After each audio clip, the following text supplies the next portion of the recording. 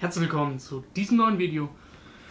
Heute etwas anderes. Heute haben wir einen Mac Mini von 2011 und bei dem möchten wir einmal die Festplatte, dem von einer 1 TB HDD, gegen eine moderne SSD austauschen, um diesen guten kleinen Mac Mini hier ein neues Leben einzuhauchen. Als allererstes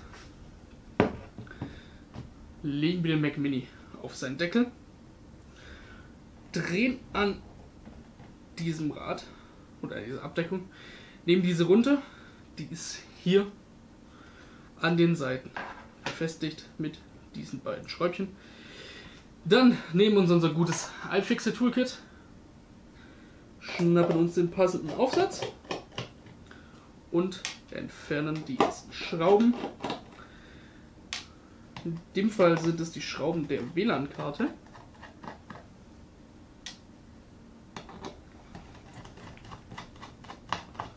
So, das waren schon mal die ersten. Dann müssten wir jetzt auch die WLAN-Karte hier rausbekommen. So, einmal nach oben. Dabei bitte vorsichtig sein. Es befindet sich nämlich ein Kabel hier unter dieser Abdeckung. So, hier sieht man das Kabel. Das geht hier auf unsere WLAN-Karte, die sich hier unten befindet. Im Fall nehmen wir uns aus zum Beispiel dem iFixit Protect Toolkit einen Spatcher.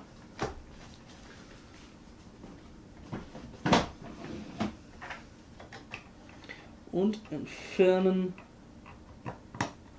einmal die Antenne. Solltet ihr nachher beim Zusammenbau Probleme mit dem WLAN haben, ist es dieses Kabel, was wahrscheinlich dann nicht richtig angeschlossen ist. So, hier haben wir jetzt schon direkt die gute Sicht auf die Festplatte. Leider hat Apple dieses Teilchen so stark hier drin verbaut, dass wir sie jetzt noch nicht rausbekommen. Wir müssen erst noch einige weitere Schräubchen lösen. Damit beginnend hier oben den CPU-Kühler. Dafür brauchen wir einen anderen Aufsatz. Jetzt muss ich einmal kurz schauen, welcher das sein könnte. Der sieht passend aus, ist aber schon wieder zu groß. Ja. In dem Fall ein Tox 6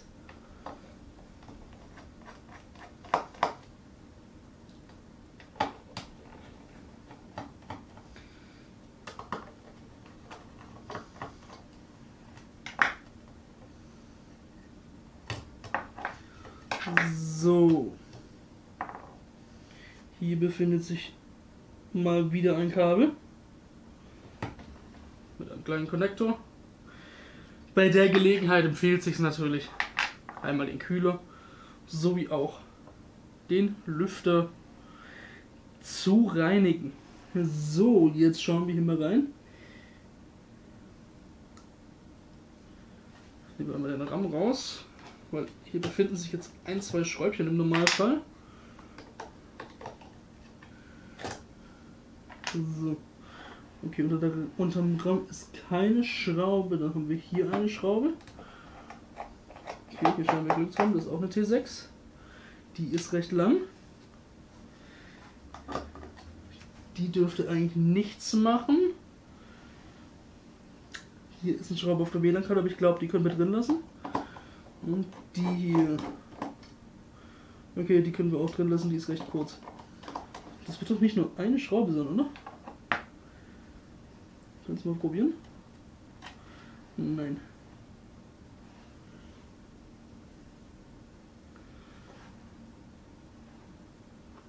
Hier fehlt schon eine Schraube, aber das ist die hier. Hm.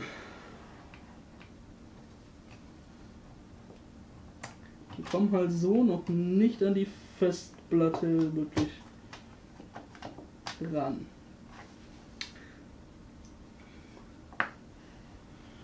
Versuchen, vielleicht muss ich tatsächlich stärker schieben. Im Normalfall schiebt man das Mainboard einfach raus.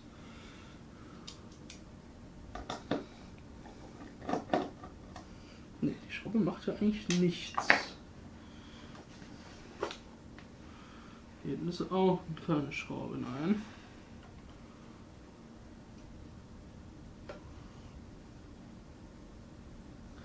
Was übersehe ich?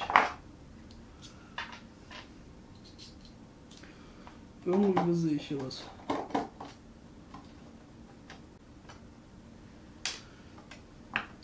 Dieses Teil lose, ja. Das wird mich doch aber auch nicht weiterbringen.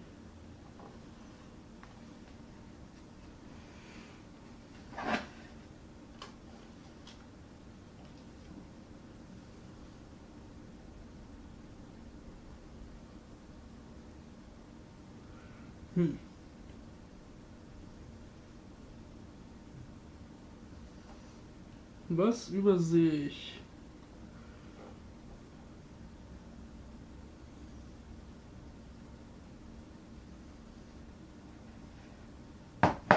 Vielleicht auch die WLAN-Kartenschraube?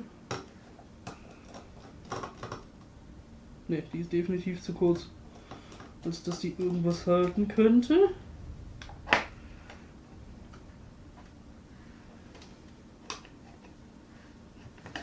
Das ist halt auch nur eine Kunststoffabdeckung. Unsere Festplatte ist draußen. Die würdet ihr zum Beispiel durch eine SSD ersetzen. Fall bleibt es erstmal drin. Hierzu diese beiden Schräubchen entfernen und an die neue Festplatte ransetzen. Das Kabel ransetzen. Und dann machen wir das Ganze in umgekehrter Reihenfolge wieder zusammen.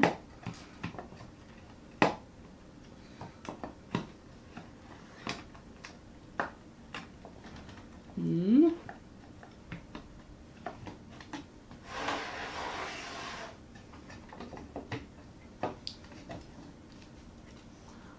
Muss man nur die Löcher einmal treffen.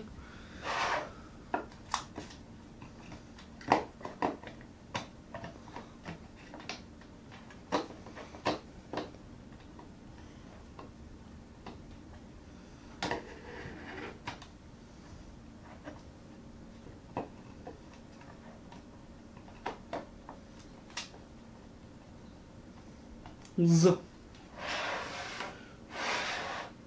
Dann schieben wir das Mainboard wieder zurück.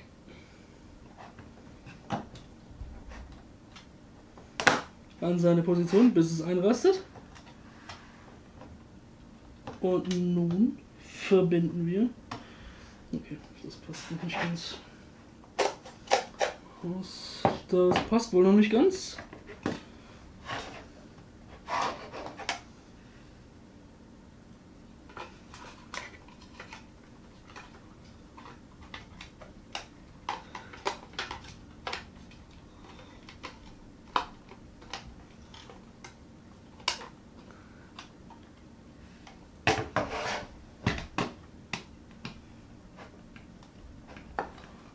Jetzt ist er richtig drin. Oder auch nicht.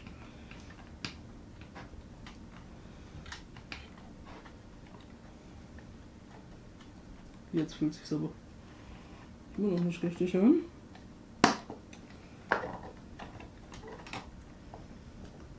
So aber.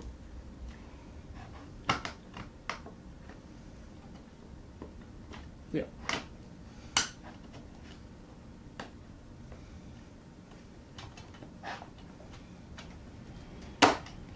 Jetzt ist es richtig drin.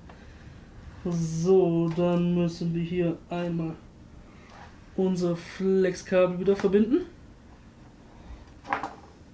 Das sitzt richtig. Dann dieses kleine Käbelchen hier wieder verbinden. So. Unsere Abdeckung. Hier kann wieder drauf.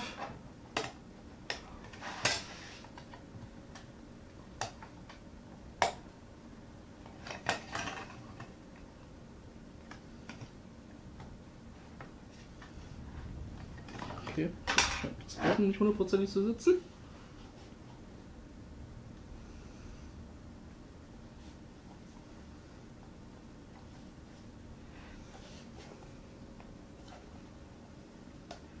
Jetzt.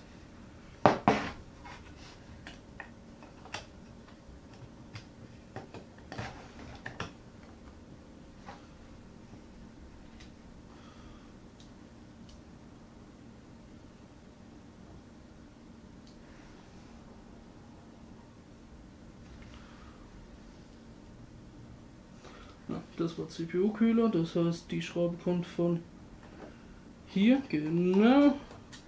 Dann das ist die Schraube, die das Mainboard festhält.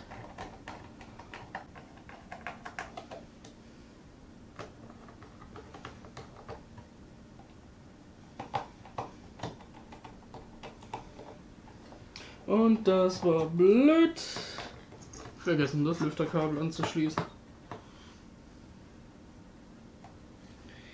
Sollte nicht passieren. Hm, komm. Löst dich.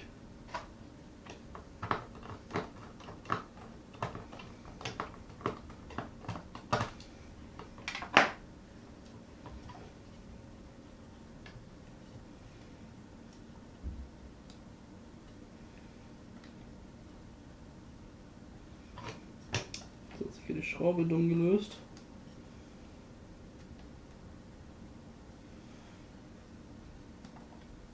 So.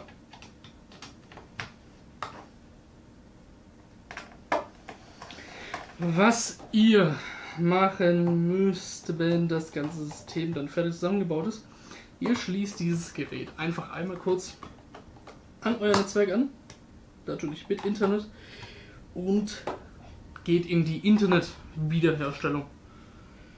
Dann lädt der Mac die aktuellste Betriebssystemversion, die für euer Gerät verfügbar ist. Alternativ könnt ihr natürlich vor dem SSD-Upgrade bereits ein Backup eurer Festplatte gemacht haben und sie auf die SSD gespielt haben. Ja, komm, ein bisschen störrisches Kabel.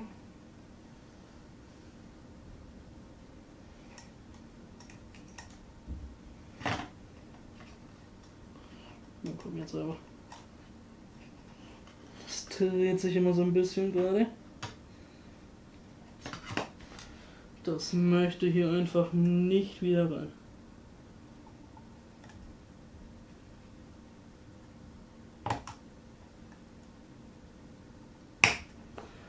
Komm schon.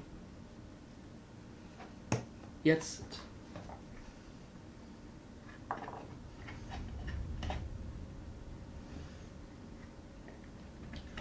So. Hier drunter, hier drauf. Dann kommen noch die letzten Schraubis. Dafür brauchen wir jetzt aber einen Aufsatz.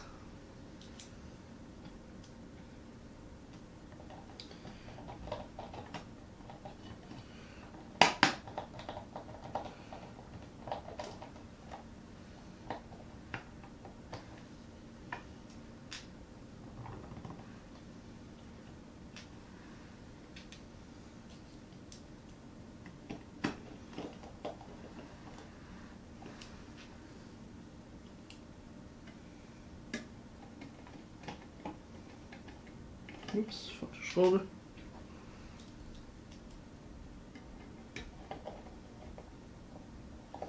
Irgendwie scheint das Board noch nicht hundertprozentig zu sitzen, so wie es aussieht. Ist ja noch nicht richtig drin, ja? Ist halt so. Aber alle Schrauben haben gepasst.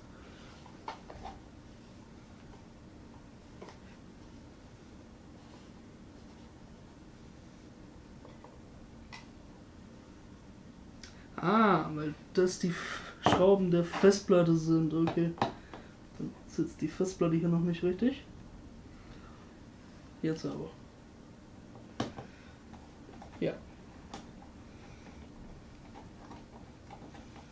Die war noch leicht verschoben, das erklärt es natürlich.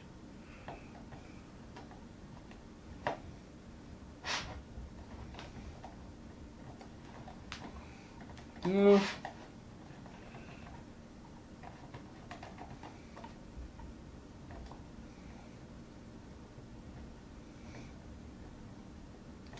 Jetzt ist alles wieder an Ort und Stelle. Bis auf den hier. Da kommt die hier vorne hin. Perfekt. Da kommt unser Deckel drauf.